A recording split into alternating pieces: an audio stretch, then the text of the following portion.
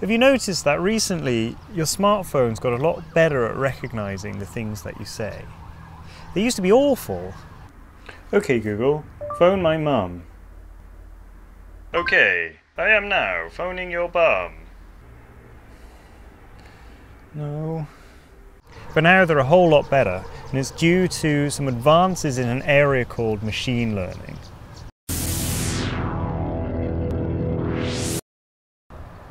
So machine learning is basically a way of getting computers to do something intelligent based on a whole ton of data. So it could be teaching them how to perform some complicated task, something that you couldn't just write out all the rules for, for example, driving a car. Or it could be used to mine a big data set to find patterns and correlations that we wouldn't necessarily be able to find as human beings. And I found that people may have heard of the term machine learning, but they don't really know what it is. But it's a good thing to know about because we pretty much interact with machine learning algorithms every time we use our phone or go on the internet. They kind of dictate a lot of what happens in our lives. So knowing about what they do is a, is a good idea.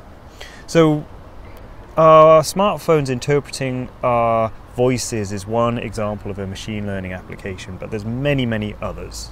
For example, Netflix or Amazon telling you what other things you might like to buy, your email being able to tell what is and isn't spam, Snapchat's face filters, Google or Facebook profiling you as a target for their ads based on the data that they've got on you, analysing the stock market to find good portfolios, the post office being able to read your handwritten addresses, mining people's location data to tell you where there is bad traffic on the roads, self driving cars knowing where the road is and what hazards there are, Amazon's warehouse robots finding the right stock, the army looking through satellite data to find structures in the middle of nowhere.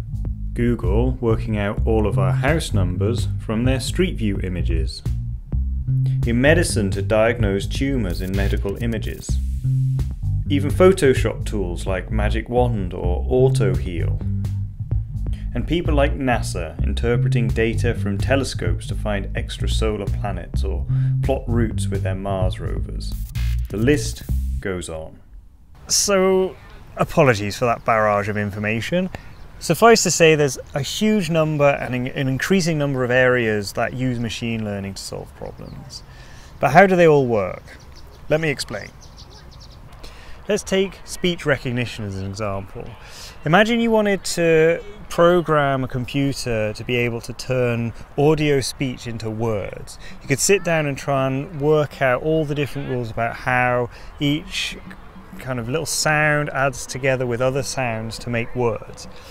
But it would be impossible to do. You'd be there forever trying to work out all the different combinations, especially with all the different kinds of languages and all the different accents.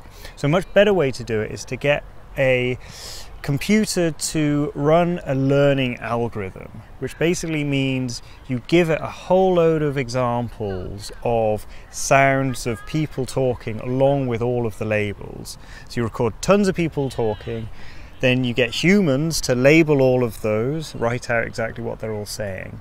You feed that into the algorithm, and if everything goes well, your machine learning algorithm then learns the patterns and the correlations between all of the different sounds and all of the different words. So once the machine learning algorithm's done all of its training, you should be able to feed in some new audio from someone speaking without the labels, and it should be able to spit out all of the words that that person is saying.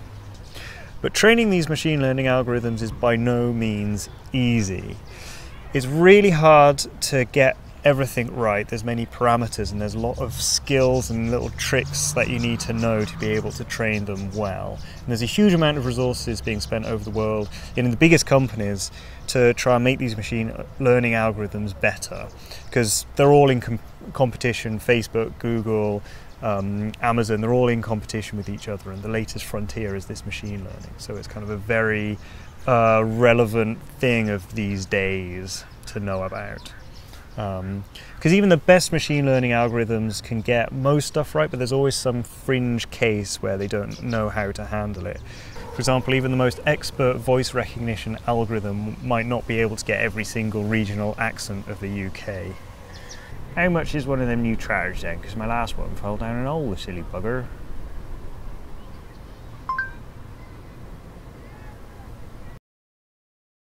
Hey, so this was just an introduction to machine learning, and the example I gave is only one kind of machine learning.